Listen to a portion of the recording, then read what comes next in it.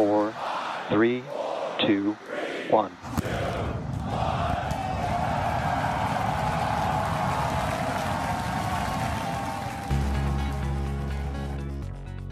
È stato un doppio successo quello della missione Flight 5, lanciata il 13 ottobre da SpaceX. Starship, il razzo più potente mai costruito, ha spiccato nuovamente il volo, ma questa volta è anche tornato. Il razzo è decollato con successo dal sito Starbase a Boca Chica in Texas e circa due minuti e tre quarti dopo ha completato la separazione tra il primo stadio, il booster Super Heavy, e lo stadio superiore Ship. Questo volo ha visto l'introduzione di significative modifiche al design del veicolo, in particolare un completo rifacimento del suo scudo termico. Ma l'aspetto più innovativo di questo test è stato il tentativo di recuperare il razzo Super Heavy. L'impresa è riuscita.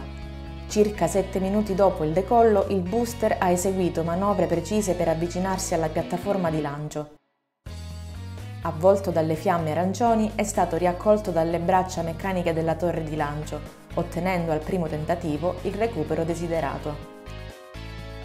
Contemporaneamente, Ship ha proseguito il suo volo verso l'alto, raggiungendo un'altitudine di 212 km.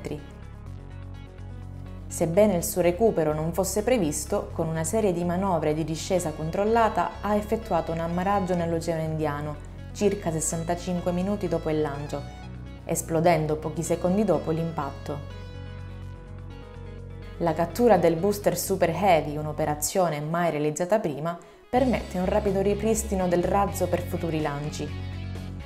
SpaceX continua a ottimizzare il design e le prestazioni di Starship, avvicinandosi sempre di più all'obiettivo di sviluppare un sistema completamente riutilizzabile, fondamentale per le future missioni spaziali verso la Luna e Marte.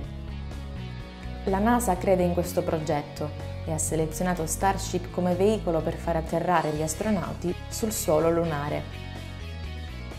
Secondo l'attuale tabella di marcia, l'evento è previsto nel settembre 2026 con la missione Artemis 3.